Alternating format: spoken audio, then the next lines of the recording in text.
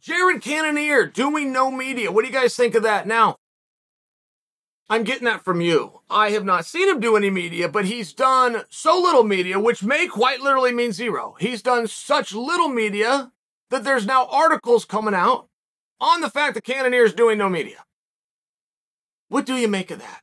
And every time I talk about an athlete and the importance to media, I get responses to some degree that will say that I am encouraging somebody to talk trash or that I'm comparing them to a WWE athlete. Like I hear that said about me. Chael wants you to be a WWE athlete, though I've never said the words. Chael thinks you need to talk trash, but I don't think I've ever said those words.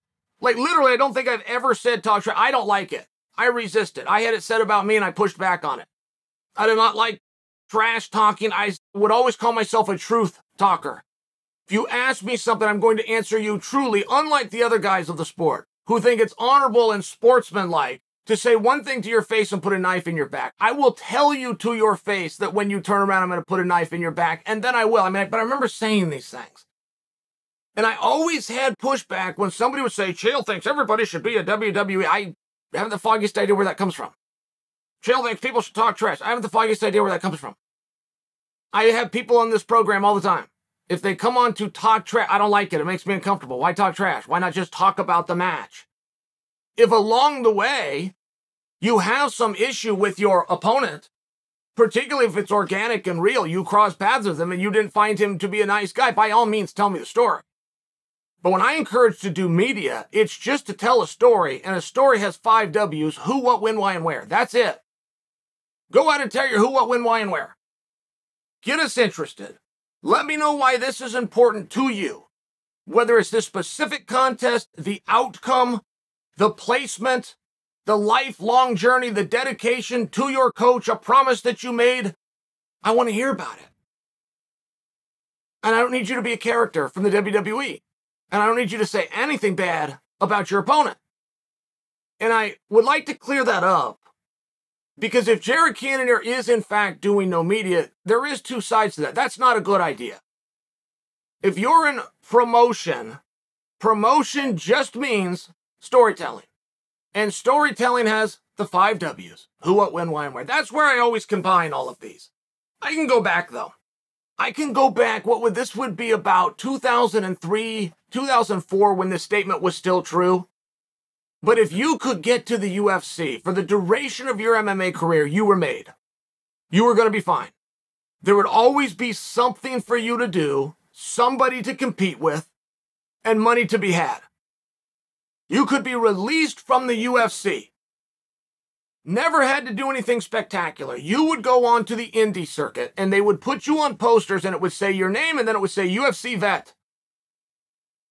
And if you were a veteran of the UFC, you were going to sell a bunch of tickets and you were going to be a main event. You were going to be the highest paid guy on the card, even if that's down at the local dog park where they're doing these events. It's a true story.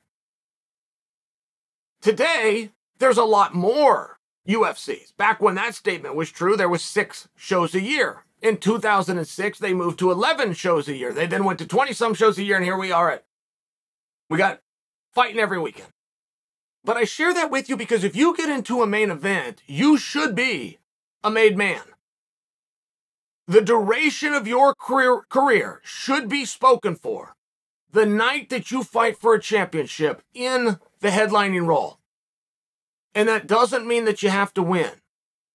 I get all the obvious if you do win. What I'm here to explain to you is what's uh, unobvious if you don't win. You were a former number one contender. You were at the top of the bill. Now, you might have some sliding to do. But if you don't have a second and third and fourth opponent lined up, you've missed an opportunity.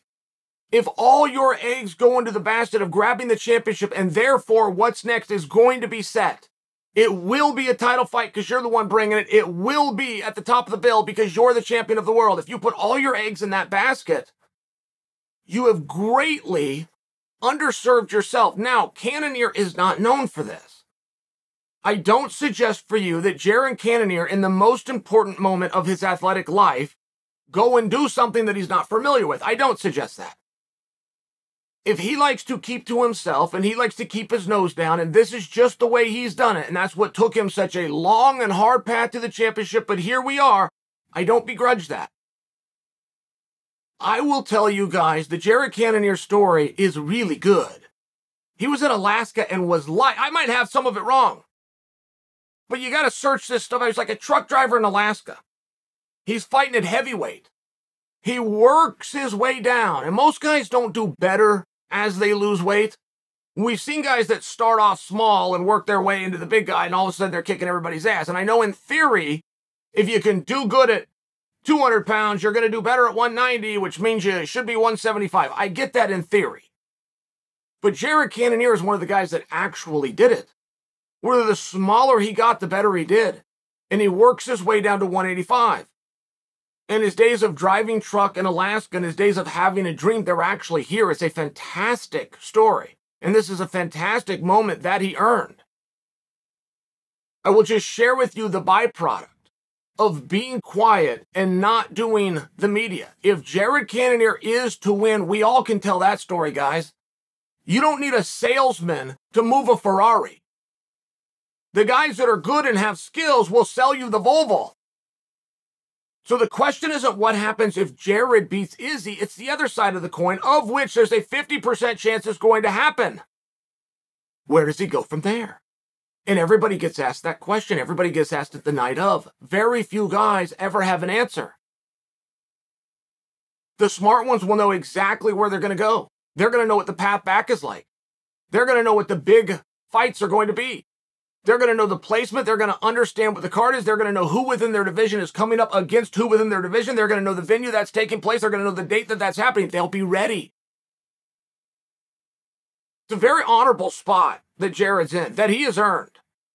I do not uh, tell you he should adopt a character. I do not tell you that he should talk trash. I'm telling you right now he's not doing media, and that comes with a double edged sword. So many people think they're the smart guy in the room because they know the matchups to do if somebody has success. That's not the smart guy. That's obvious to everyone. The smart guy planned for the other side. He planned for the worst outcome. And I will just share with you, much like the time when if you were a UFC vet, you were a made man, right here today, which is very different time, 2022, if you make it to a main event in a world title fight, you should be a made man. You should have three big, guaranteed three big fights out there with beautiful placements, with a whole bunch of money coming, and the outcome doesn't matter if you did it right. And if you didn't, none of us look down on you. If you burn your boats and you put all your eggs in one basket because plan A is, because plan B is plan A. Plan C is plan A. There's an honor to that. No doubt, but there's a risk. And if you want to be good in the world of promotion, you must understand that it's storytelling. To tell a story, you got five W's, you got to tell it to anybody that asks. Great marketing is not refusing to put yourself out there. Great marketing is going and finding and creating those opportunities and making the most of it.